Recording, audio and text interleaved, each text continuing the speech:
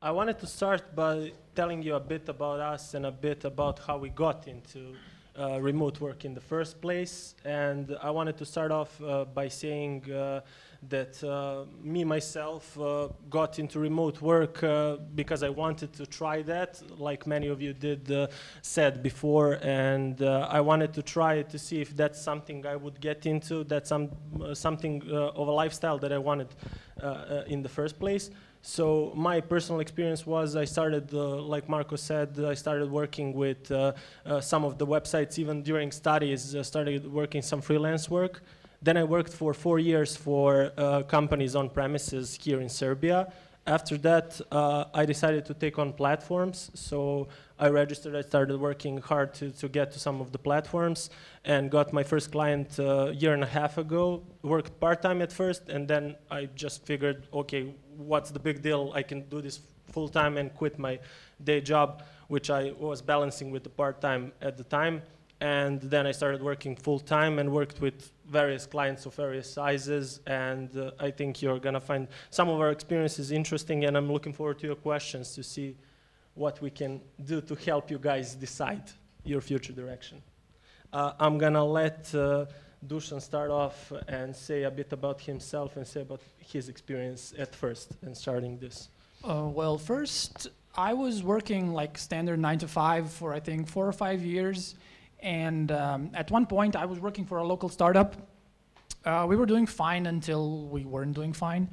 In the end, so we had had to cut money for uh, like rent for the office or an apartment, not really an office.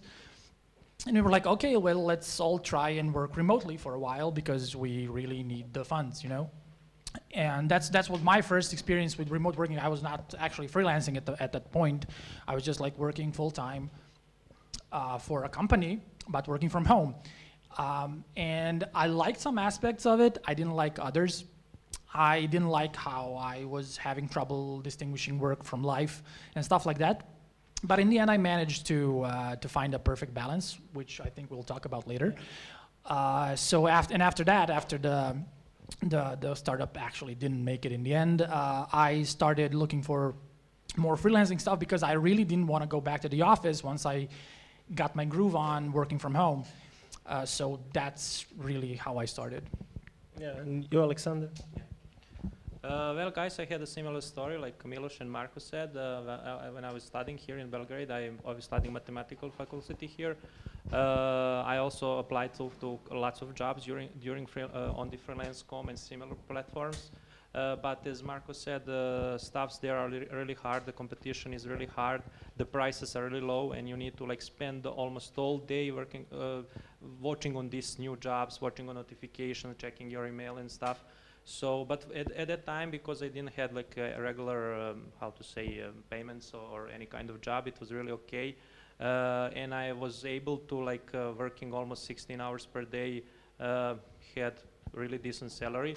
Uh, so for a start, that was really okay. Uh, after that, I got like uh, I was working for a couple of, of, companies here in Belgrade, and then the moment why I decided to switch to the like uh, how to say freelancing job was like my little daughter. I have like a two years little daughter, and the other which the daughter which is al almost here on the way, and I wanted to spend more time with them. And also regarding like uh, other part of the story, uh, when you work from this uh, works from nine to five, you know, you always stuck on some projects, working for like one project for like a year or a two, and you usually do some kind of bug fixing or something, and it's really hard to be like a team lead. And uh, inside our job, uh, technology is like really traveling fast, and you need to learn lots of new stuffs. And uh, I was always like following these new trends and stuffs, but unfortunately, you don't have the time to like um, how to say, try these uh, new technologies on some kind of real project. You only like read about it and say, okay, I, I, know that, but unfortunately I don't have any kind of experience. And for me, doing this freelance job is like, uh, that's the most uh, important benefit because usually you're working alone or in a team of developers for some kind of startup or a new project where you can like adapt and decide what, which, uh, what are the technologies that you are going to use. Uh, so you can try basically whatever you want, you know and uh, you can uh, have lots of experience and comparing to like my like let's say three or four years doing nine from type nine from uh, five job uh, to this freelancing job, I must say that for these last two years, I really improved my programming skills, you know, so that's really important stuff. Yeah, know. I agree. Yeah. Yeah. So, what would you say were your fears when starting off as a remote developer, when cutting off ties with on-premises work and just moving Yeah, to? yeah, Milos, I, I, I, al- uh, I mean, uh, I had uh, really, like, really, really, really lots of doubts. You usually, uh, people say, you know, you can earn much more money doing freelance, but uh, the, the job is really unstable. So sometimes you, you are out of the project. Uh, there can be times where you're a couple of months out of the project. So uh, if you don't try it, you hear all of these different stuffs. Uh, you know, some some say it's good, some say it's bad. You meet people that were doing freelance that they are now back uh, working from night from nine from five. You know, so for me, uh, I really needed money because uh, how to say I, I got daughter daughter on the way, and I was uh, okay. I, I need now more money. You know, I like that like that's like some kind of uh, father figure. You know, that was working inside me. Uh, and I was prepared to do whatever it's needed to, to get more money. So, but basically, I wanted to be cautious. So uh, I took like a part-time job with my regular nine to five job. So I was do- doing that for like example for like six months until I didn't decide it, it was like a time for me to do like um, full-time free, free, freelance. You know. Yeah. So, family is a big motivation for you then to Yes, work remotely. Yes. In contrast to- yeah. yeah. Oh, sorry, sorry. I'm. And you, Dushan? Um, well, the biggest fear, the biggest fear really was just finding uh, the finding the next project. So I alleviated that at the, at the beginning uh, just by finding not really freelance projects, but really like a permanent job roles uh, that I could do remotely for foreign clients, of course. It was technically freelance, but it was not uh, contractual. It was kind of you know. Uh, un, un, As needed. yeah, as needed or indefinite. So uh, that's how I alleviated the, the biggest problem, and I figured that I could do that uh, with less than 40 hours a week. So I had some more time in the between. So that gave me gave me freedom to look for other real like freelancing opportunities. So I could pack up my workday, my work week, uh, and yeah. So it was it was the, the money was of course the biggest fear. I didn't have. Uh, I wasn't afraid of uh, I don't know.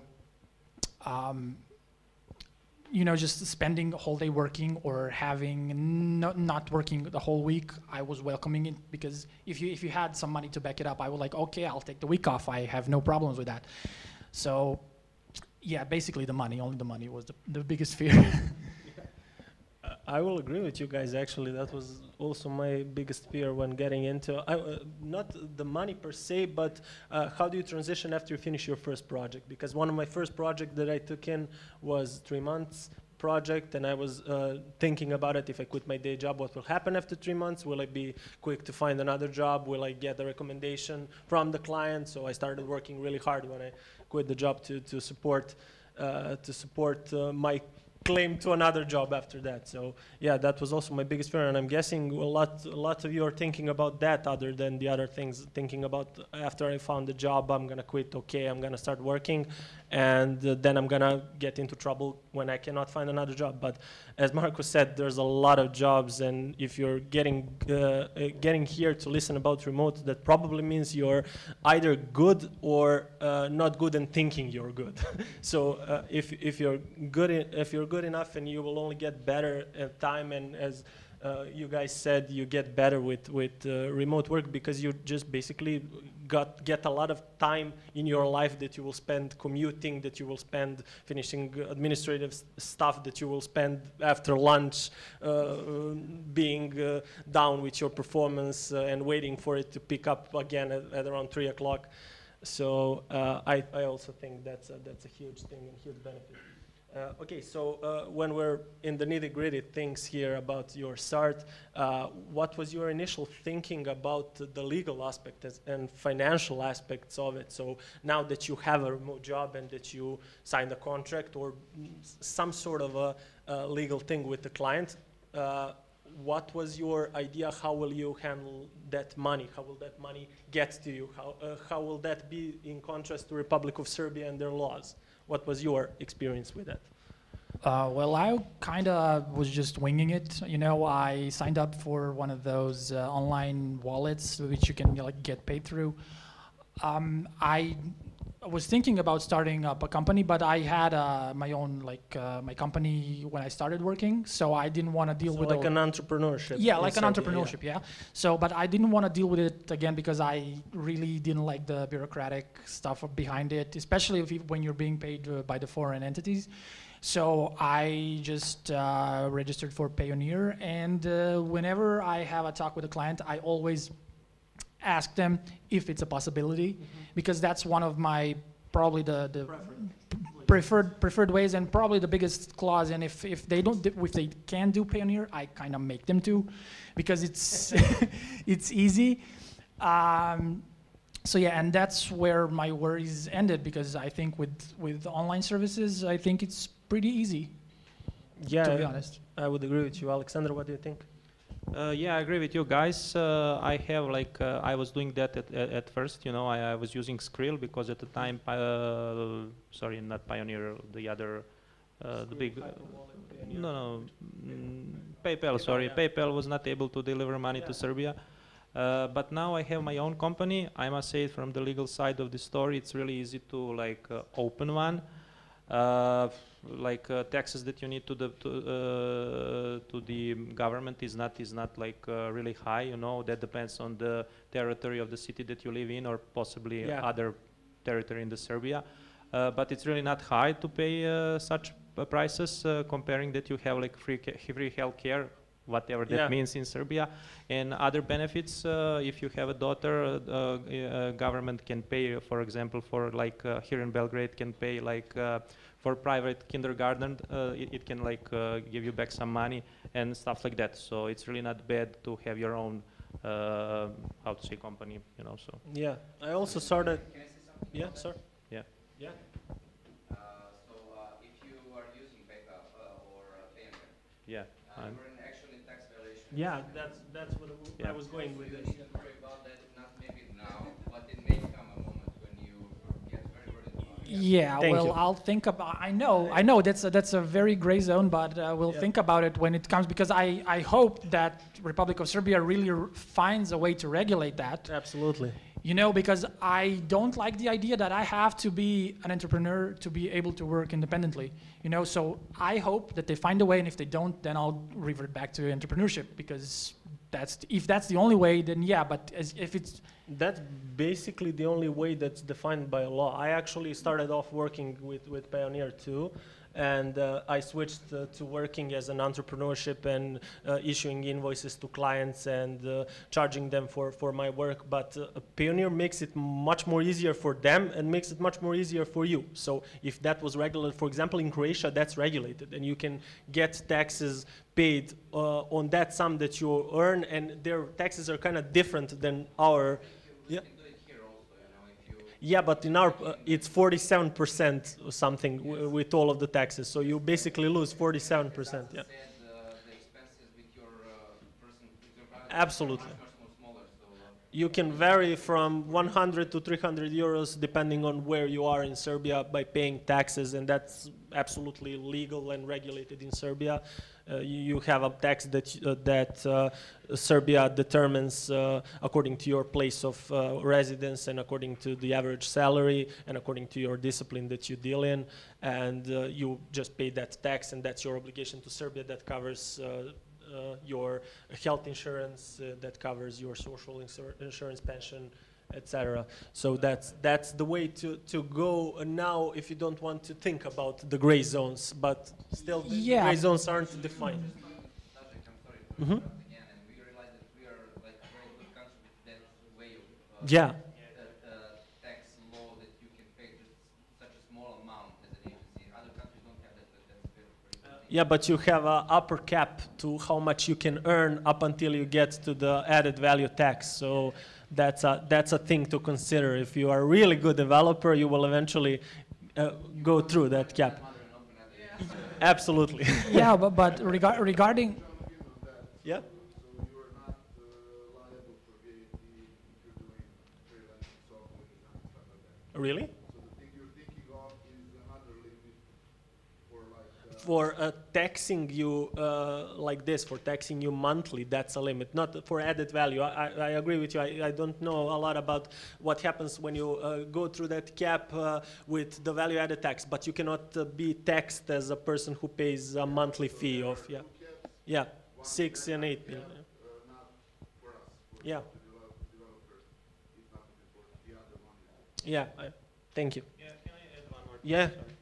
Uh, well, I would just like to add one more thing. I mean, I always mix this netto and brutto paychecks that you get at the end of the month, but I need to say that, for example, uh, whatever money did, did you get when you work from 9 to 5 for some local company, that company is paying around 60% of that amount that they give you additionally to like uh, taxes to Serbia, you know. So that's pretty much probably much uh, bigger that, that, that you, sh- you should usually pay when you have your own company, which Marcus, um, which Milos said is it's between like 100 and maybe 250 um, dollars or euros per month, you know. Yeah. So and you have the same benefits and basically, uh, I mean, if you decide to do the freelance, that's that's some. Yeah, I'm guessing most of you guys work like that, so we won't uh, take up any more time with that.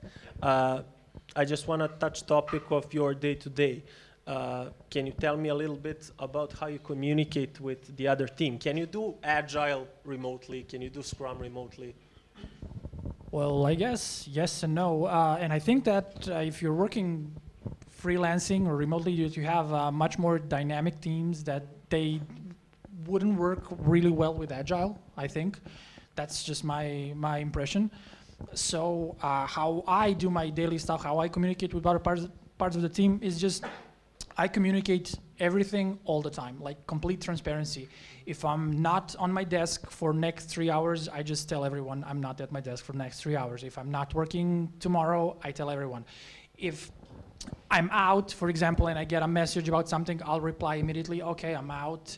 I'll uh, get back with you whenever I'm possible. So like I want everybody to just know the the state that I'm in at the moment, so that they don't have to wait for me at any given time because I know how difficult it is to have a remote team communicate with each other. And if you're always waiting for some email, wait, waiting for some message, I'm just trying to always be transparent, always be open, always notify whoever needs to be notified so that they don't have to wait for me so they get my piece of information and they can move on. Um, and I think that's very important, and it's it kind of is even more communicating than with your usual team. That's the thing. Because uh, you have to. you have to. You have to. You don't see people at their desk. You just cannot go there and ask them if you need something. You don't know if someone's not there or if someone is there on the other side. Even if they're all offline, on Slack or whatever, just shoot. I shoot them a message every time I just need to because I know when they see it, they'll deal with it. So I can take my mind off it, and I I cannot say I was waiting for this guy to finish and he didn't reply for me. Like it's not a, it's not an excuse for not finishing up your tasks.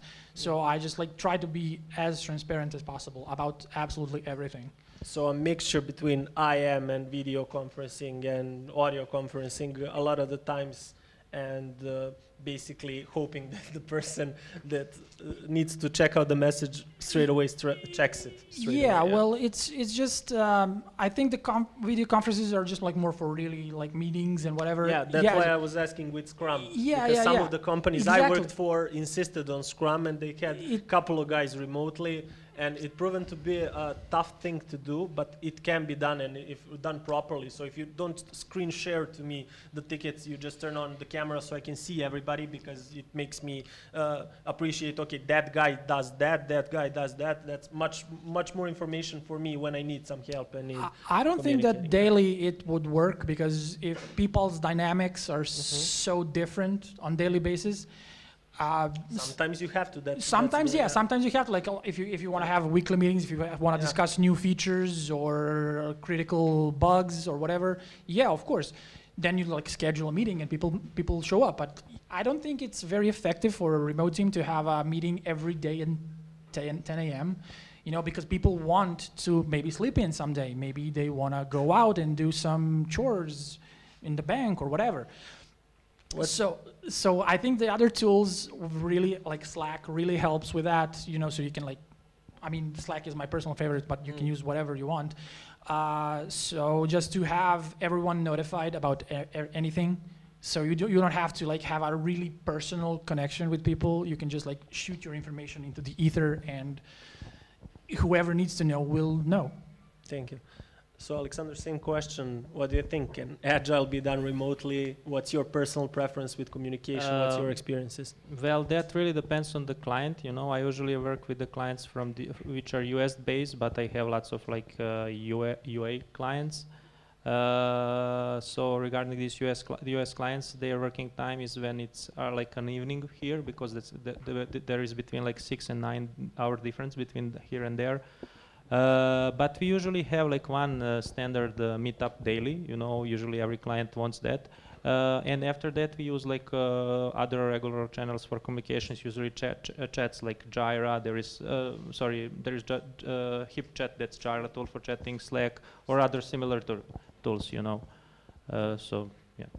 Thank you. I agree with you. Th- those are my experiences too. Uh, basically, my experiences uh, with Scrum weren't that uh, uh, good in the sense that it can i- i- it can achieve something that uh, just remote communication and and IM messaging can't. That's that's absolutely correct. I agree there. Uh, I uh, usually tend to pick jobs because I, I'm at that point of my career where uh, I really try to pick jobs that are the best for me, not just taking on the job that was offered to me, even if technologies interest me. Uh, if it's uh, no preference, it will, uh, no preference means no preference for time zone, so you can work anytime. You can just agree with the client of a daily or a weekly meeting. It just means you have a, you have a job that you can do anytime, but eight hours a day.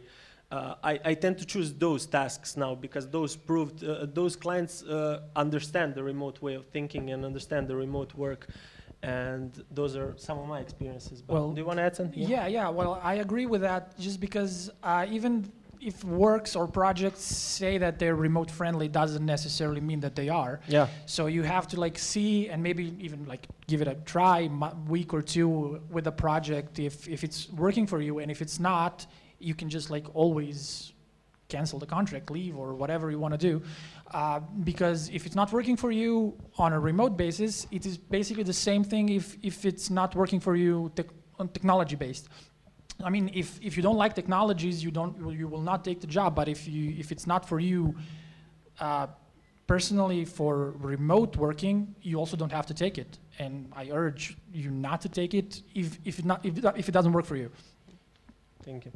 Uh, Alexander, I'm gonna direct this question to you. So your work and life balance, you said you had a family. Do you prefer working nine to five or do you prefer working uh, no preference? Do you, do you have some sort of a schedule during the day? I assume you do because of your, Uh, yes, I mean, there, I cannot emphasize how like um, job from nine to five sucks when it comes to that. When you have like a little child, because usually the little child is sick, uh, you need to go to the hospital. There is always some urgent situation that you need to like uh, uh, do, and basically this freelance job is like really made for that, you know. So I'm basically working from like my other room, and my wife or child in are in the uh, living room or somewhere, you know, or, uh, in the apartment and I'm always there, you know. So uh, that really, like uh, when I was working from nine to five, I, al- I really missed that, you know. I mean, I was not able to be there when I need to be there.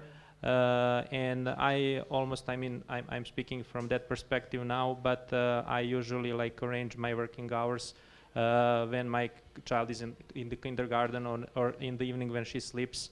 Uh, I would also like to add, for example, when you work uh, from the developer side of the story, you know, uh, when you work from nine to five, there are always lots of people. You're working almost uh, always in some kind of open space, and uh, I think that we as a developer have this kind of zone. You know, when you uh, when you get in, for example, when you work on some issue, you like uh, just basically turn off a surrounding world, you know, and then work on this issue. And you should be in that zone. There are lots of interesting uh, articles on the internet about that you know. Uh, but when you work from nine to five, there are always colleagues th- there that always interrupts that like zone that you are in, you know. But uh, when you do the freelancing stuff, uh, you can choose. Uh, the best uh, way to do it. So if I, for example, in the morning I don't like, I don't feel working, I will not do that. Uh, and usually when I was coming um, like uh, on jobs from nine to five, uh, I usually come to job and then spend eight hours doing nothing, you know, because I don't feel uh, doing anything. And then uh, when I come home, I'm still tired, even though I was not doing anything, you know. Uh, so when I'm working as a freelance, uh, even if I work only two hours per day, I do much more than like uh, working eight hours on, on my regular job, you know, and that's the reason why I'm getting. I mean, it's basically silly, but I think that's the reason why I'm getting better, you know, because I'm I'm, I'm really uh, uh, like put myself uh, 100% into the job, you know, so for the time that I'm working.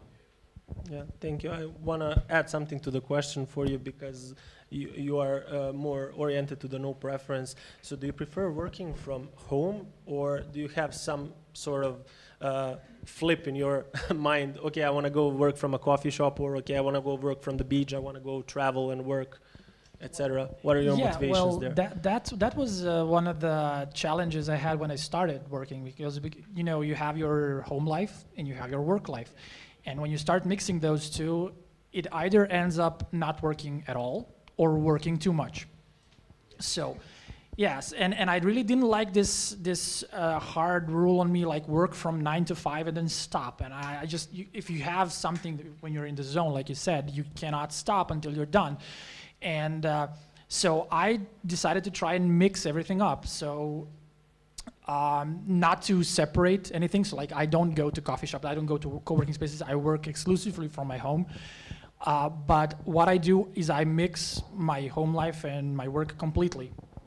Is I don't have determined hours when I work. Sometimes I work early mornings. Just when I wake up, the first thing I do. Sometimes I work, and sometimes I don't work until noon. Sometimes I don't work until the evening. I'm just listening to my mood, how I feel about working.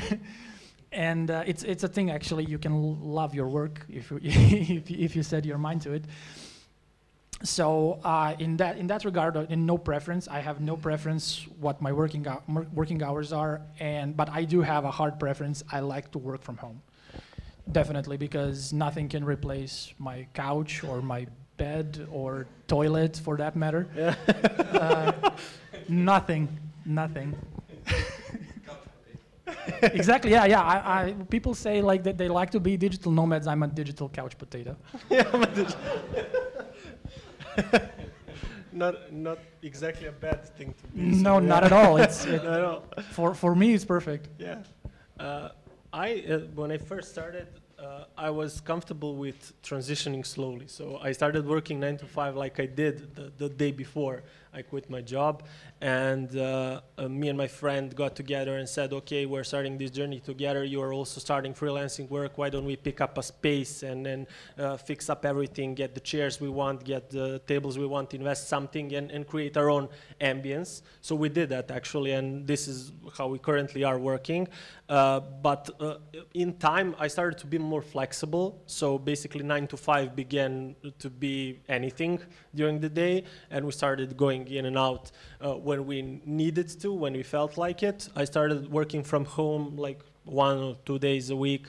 When, whenever I needed to, started working from coffee shops. Even there are a couple of coffee shops in Belgrade with really decent internet that you can work like four four hours a day. I cannot work the entire day from a coffee shop, but I can work like four hours a day, and it's really pleasant. You can combine it with your lunch, and you can combine it with with socializing with other developers you have in, in your friend base, which is actually guides me to my next question. Uh, socializing when you're a remote developer. When when you're on premises, you have like this uh, boiler room talk, like like talking next to a coffee machine. You're you're always speaking with somebody. You have these inside jokes with people. You have this team that you are not really ready to uh, leave uh, in contrast of uh, socializing. Uh, how do you handle that when you when you move to remote? Because you're not no longer in the presence of people around you if you're working from home, other than your family and your your closest ones. Well, you don't have to be in person with other people to socialize with them. You know, you can still chat. It's still the same jokes. And I mean, introverts here will understand how annoying people can be in person. So like if, you if you can just stay away from them and tell your inside jokes over the text messaging, that's perfect. So you can you can still socialize even if you're home all the time. Even if you're a couch potato. Yeah. Exactly, exactly, exactly. I mean, you can always get your fix. Like always, you. That, that's the great thing. You can always get out. You don't out of the out of the house. If you don't want to work, if you want to socialize, you can always get out. Even if it's midday, you are not obliged to sit on the desk. You can just go out and meet with some friends who are also not working, who are like lazy bags, whatever. So it gives you this freedom to go and do whatever, but at the same time, you have your own non-violated space during the whole day. Perfect. Sacred. what, w- what would you say, Aleksandar, is your way of keeping up with your physical and mental health for, for that matter? But what- ask a question before Yeah. we continue? Yeah. Uh, Did you find some coffee shops with good internet where, you know, people gather for freelancing? Because I didn't, I, Uh, I I- I- I like. A couple of times I've seen uh, Aviator has pretty good internet. A couple of times I've seen people uh, that are, I presume, freelancing. They were on their Macs typing away, like zoned out. So I, I presume they were freelancing. So Aviator is one. I can.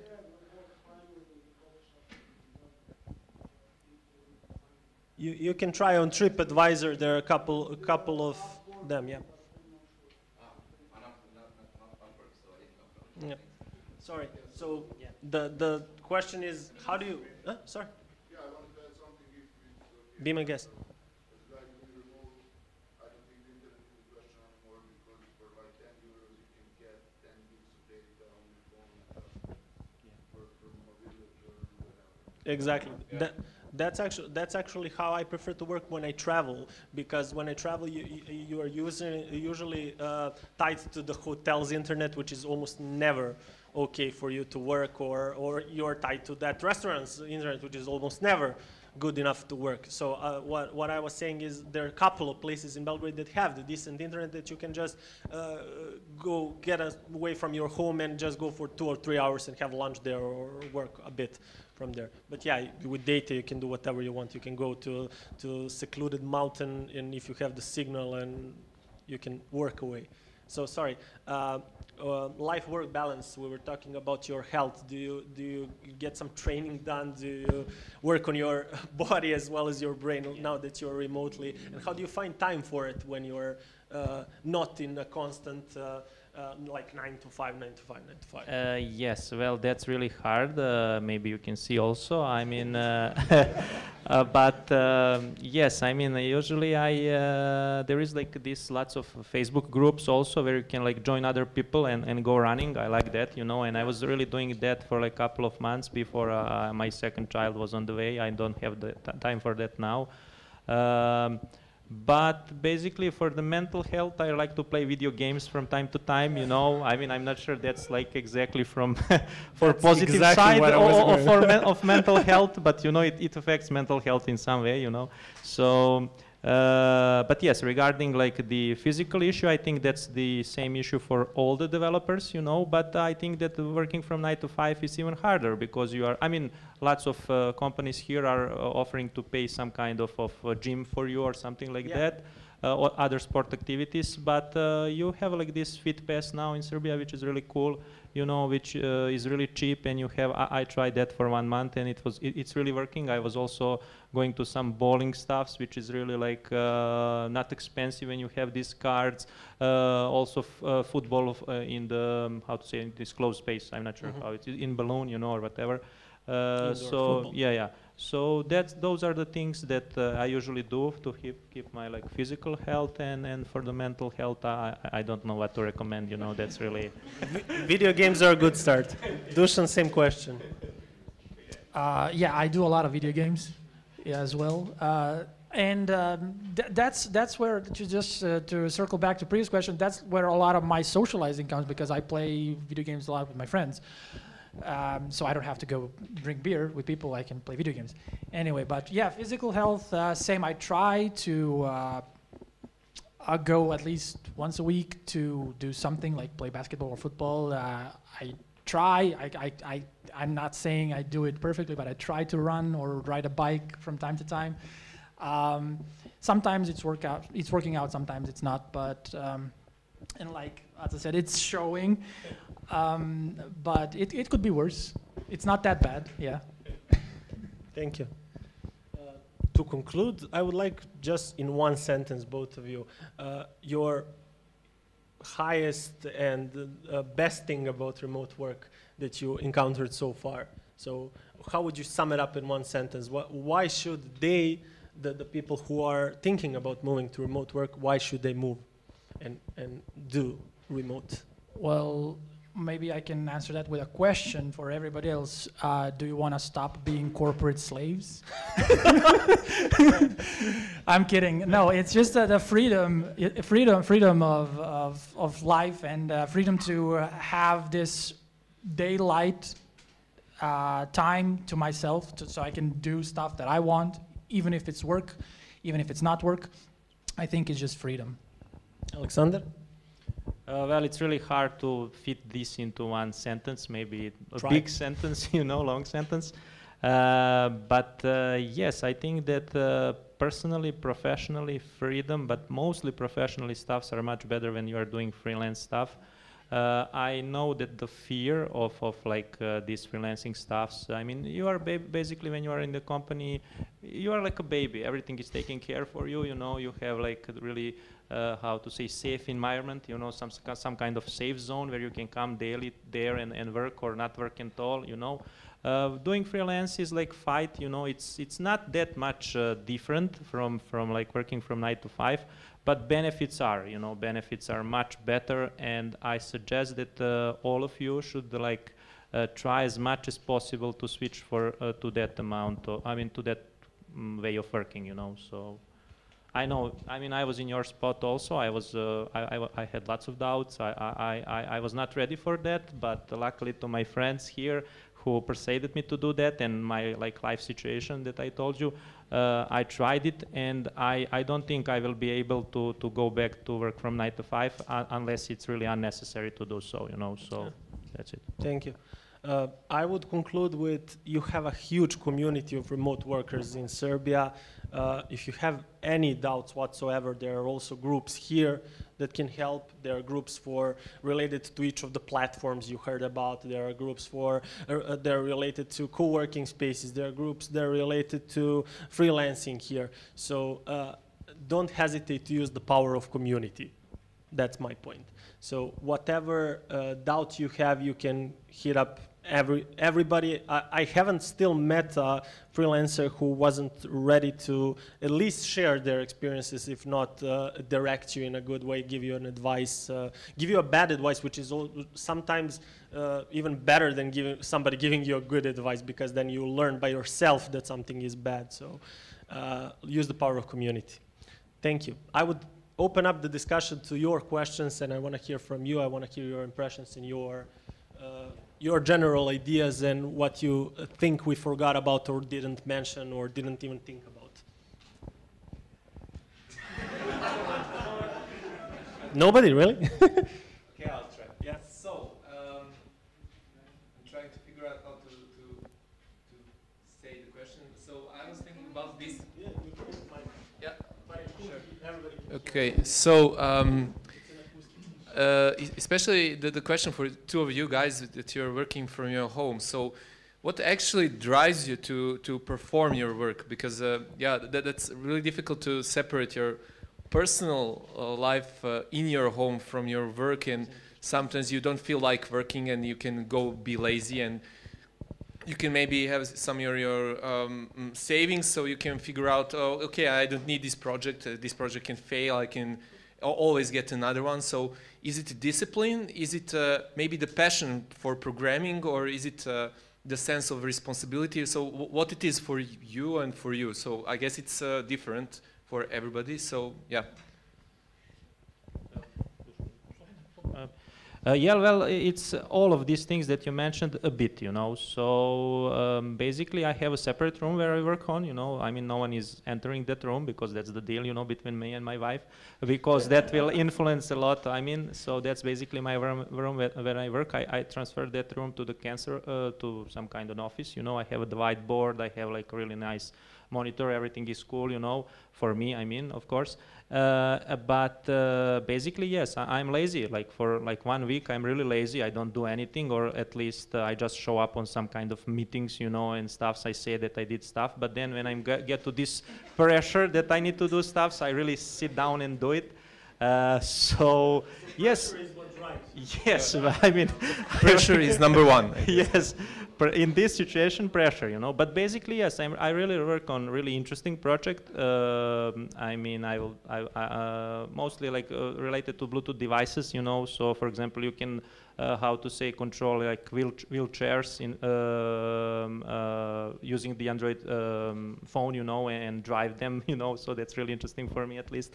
And um, for example the bible project which, has like 200 and, uh, 250 million users you know re- really big project. So uh, all of this mix of technologies and, and, and stuffs that i'm working is really drive me to, to uh, even do, do more and contribute you know also along the way i, I learn all i always uh, every day i learn something new so those are the stuffs that like keep me pushing going on you know yeah Well, for me, uh, there's little discipline. I have to admit, it's it's mostly passion, uh, and really, uh, it's it, usually it's products that drive me. So I really wanna connect with the, the product that I'm working on, like Atza said. So I I want to see that product succeeds. I even if it's a boring piece of work or boring issue or uh, a boring task, I have to. I want to do it just because I want to see the product succeeds in the end. And uh, it's it's one of the things how you select project that you're working on. Yeah, I want to work on something that I connect to personally.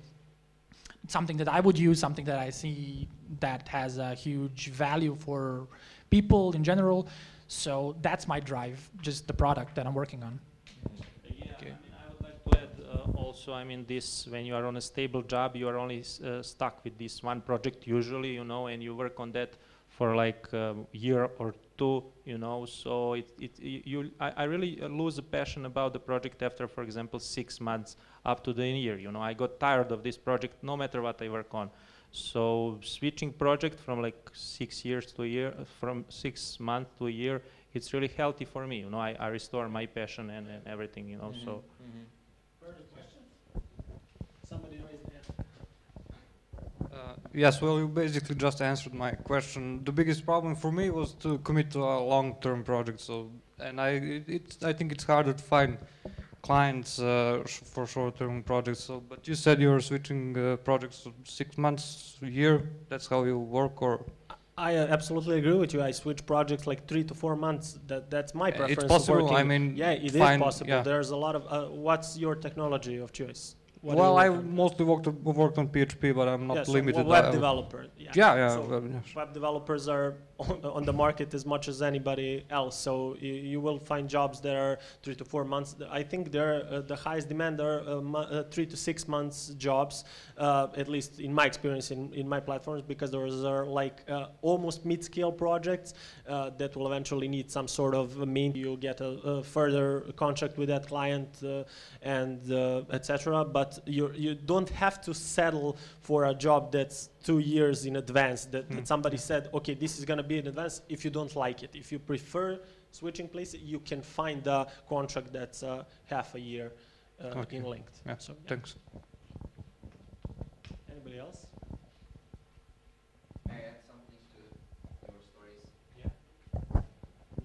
Uh, so, um, from my experience, which is uh, almost three years, I saw a lot of uh, extraordinary people, uh, very good developers and QAs and uh, experts in their area, who were very um, close in their way of thinking. You know, they find themselves safe inside of the company. You know, thinking that it's a safe place. You know, they don't want to change anything. It's good for them, for them families or stuff like that.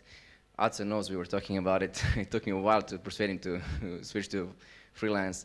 Uh, but uh, in short, uh, people don't don't be scared.